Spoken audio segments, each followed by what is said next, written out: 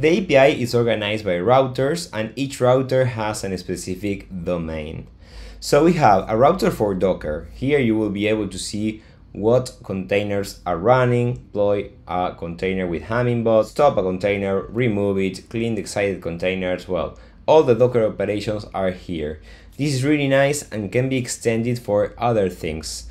What I'm doing here is using the Docker sock of the host machine, passing that into the container and let the container of the Hummingbot API use the Docker from the host machine. Then we have the accounts router. Here you can create new accounts. By accounts, I mean local accounts of the API. Let's say this is the master account, this is a sub account of the client one, account of client two, and so. Into each account, you can also add credentials to it in this router. For example, add the credentials of Binance for the, account, the master account. Then we have the connector router that will tell you what connectors are available, the trading rules for a specific connector. This is really nice because you can see what are the trading pairs available, what are the mean order amounts in quote or in base assets, the mean price increment, all these things are really important when building configurations for your strategies. And more general information about what are the supported order types. For example, this connector supports only limit and market orders. This other connector supports limit, limit maker. Then we have the portfolio router that will let you know for each account what is the state meaning the state by the amount of units that you have, the value of those units in USD, the historical value of your portfolio over time, and you can also see some aggregated metrics like distribution and so.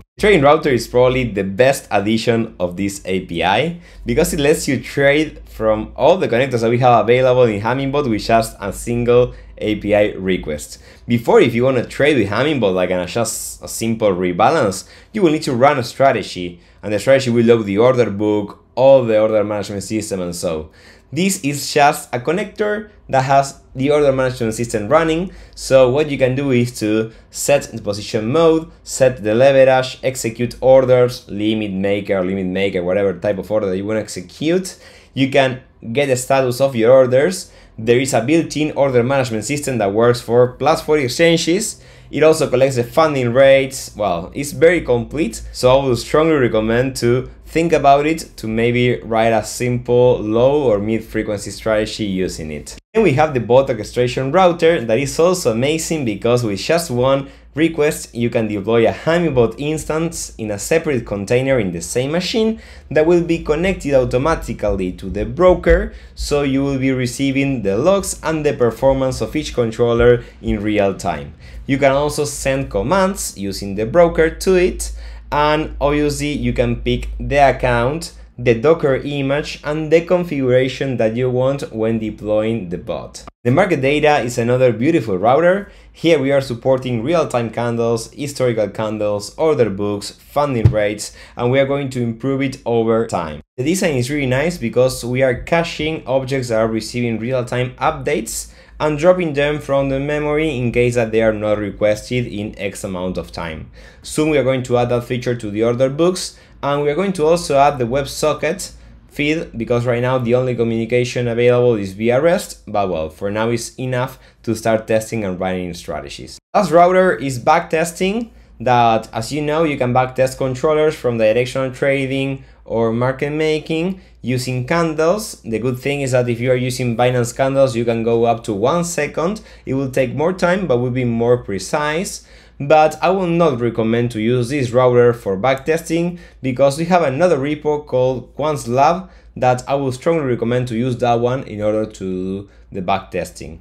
This is only if you already know what you are backtesting and you want to do some experiments in the background, but I think that at this stage it's better to use the repo of QuantLab. Now is your time to start testing all the routers that we have been talking about the first thing that you will need to do is to go to the Swagger docs that are in 8000 slash docs, authorize your application with the same keys that you put in the setup.sh, my case is are the default, and then well you can play around with different routers, it's very simple, just go here, try it out, execute the queries, I don't know, you want to see what are the active containers, you execute and you get the active containers that are running.